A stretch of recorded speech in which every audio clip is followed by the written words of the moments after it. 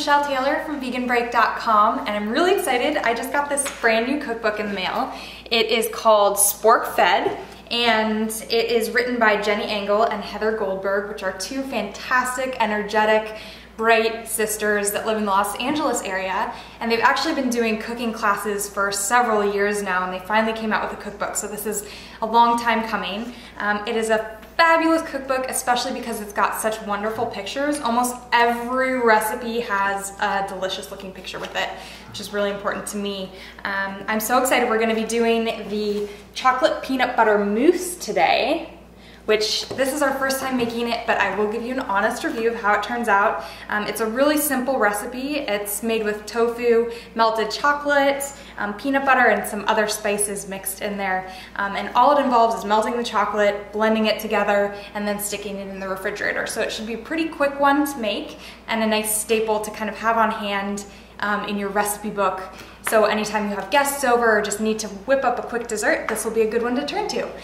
All right, so the first thing that we're gonna do is we're gonna melt the chocolate. So we're supposed to take one and a half cups of dark chocolate chips, vegan Got These at our local grocery store, New Frontiers in, in um, San Luis Obispo and we are gonna melt them in a double broiler. Now, if you don't know what that is, it's this kind of fancy appliance. This is my mom's super old one, so we're gonna use that. If you don't have one of these, not to worry, you can take a small metal bowl and stick it in a pot in about an inch of water, um, and that will work just as well. So we're gonna heat the chocolate in here for about three minutes, and we're gonna stir it so that all the chocolate chips have melted, and then we're gonna put that aside and move on to step two.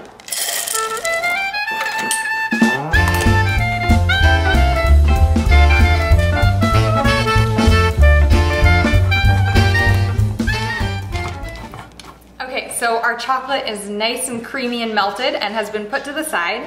And next we are going to blend it all together with the tofu and everything. So we are gonna take a, either a large blender or a food processor. Today we'll be using a food processor and we are going to blend the chocolate together with um, silken tofu, which you can find at almost any grocery store, or natural food store.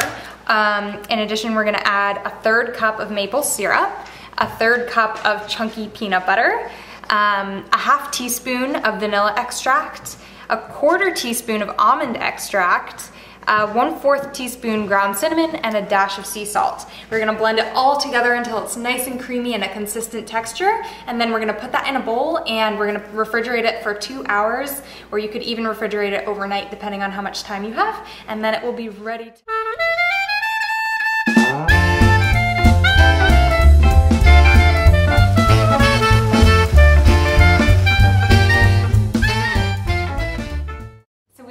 finished blending all the ingredients together and it looks delicious already. I wanna eat it right now. That almond extract smells amazing and I think it's a big touch. So definitely if you can get your hands on some of that, now that we're done blending everything together, we're gonna stick this in the refrigerator for about two or three hours, and then it will be ready to prepare in dishes and sprinkle with the topping and serve. So we're making the nut topping, which will be sprinkled on top of the mousse once it's done.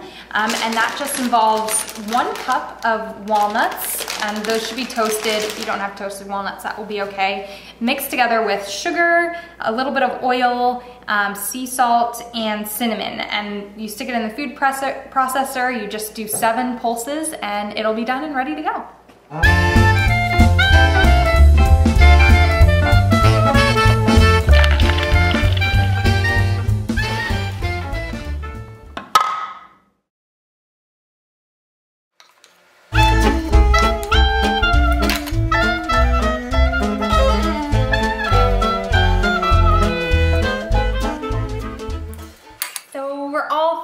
Um, presenting them all. This is what the final product looks like. We garnished it with some fruit and of course the nut topping. Looks delicious and I'm going to give it a taste. Mmm, that is incredible. So delicious, the perfect consistency, perfect flavor, so good. You must try this at home. Thanks so much for watching and be sure to check out the other Vegan Break videos that I have over at veganbreak.com. Bye guys.